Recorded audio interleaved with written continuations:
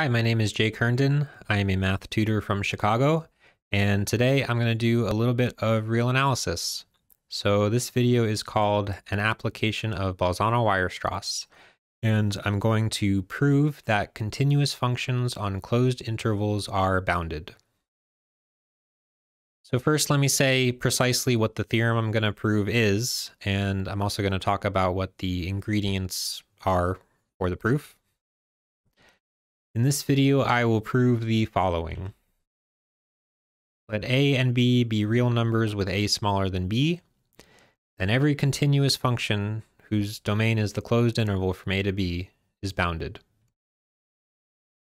There are lots of proofs of this theorem, so I'm just going to give one proof.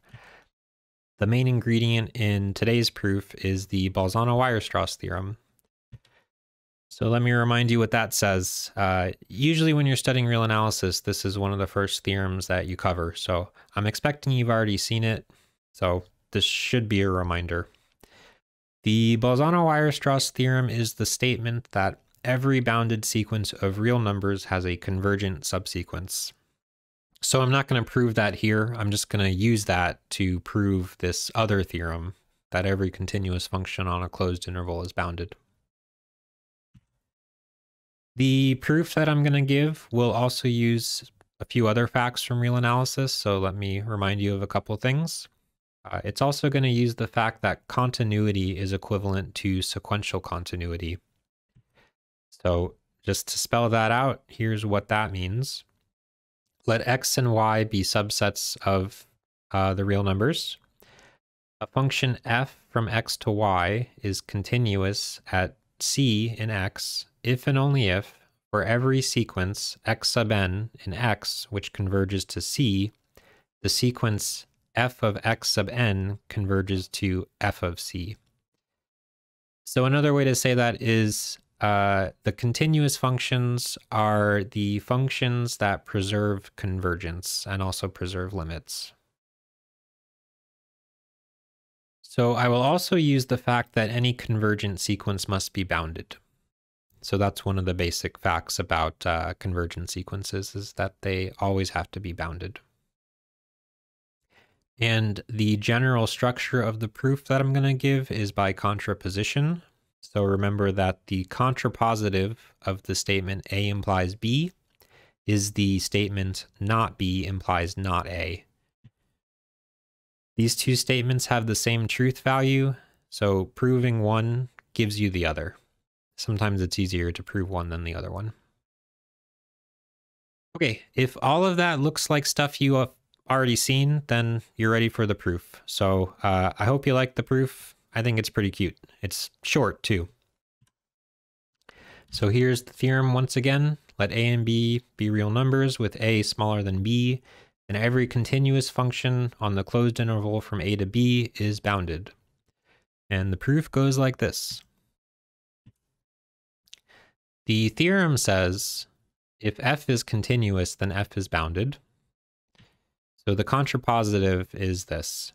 If f is not bounded, then f is not continuous. So that's what we're going to prove. So to start that off, let f be a function which is not bounded. So what does that mean? For any n in the natural numbers, there is some x sub n in the domain of f with the absolute value of f of x sub n greater than n. So this is just saying uh, if you want to find a point in the range of f that's really big, you can always do that no matter how big you want to find that point. In other words, there is a sequence x sub n in the closed interval from a to b with the absolute value of f of x sub n greater than n for all n. All right, time for Bolzano-Weierstrass. Since the sequence x sub n is contained in the interval from a to b, it is bounded. And so the Bolzano-Weierstrass theorem implies x sub n has a convergent subsequence, say x sub n sub k, where n sub k is a strictly increasing sequence of natural numbers. Uh, to say that you've got a subsequence means you're skipping some of the indices. So that's what this sequence is doing. A strictly increasing sequence of natural numbers is just going to skip some terms of the original sequence. So this subsequence has a limit. That's the point. It's a convergent subsequence. So let L be the limit of the subsequence. And then note that L is in the closed interval because the closed interval contains all its limit points. From here, we can see that f is not sequentially continuous at L. So the sequence x sub n sub k converges to L in the domain of f. However, the absolute value of f of x sub n sub k is always greater than n sub k. So that means the sequence f of x sub n sub k is not bounded. And because it's not bounded, it also does not converge. So f is not sequentially continuous at L. We found a sequence, the subsequence from this paragraph, we found a sequence that converges in the domain of f, but when you look at the outputs, you get an unbounded sequence. So that doesn't converge.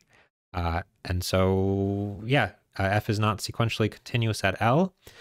And because sequential continuity is equivalent to continuity, that means f is not continuous. So that's the end of the proof.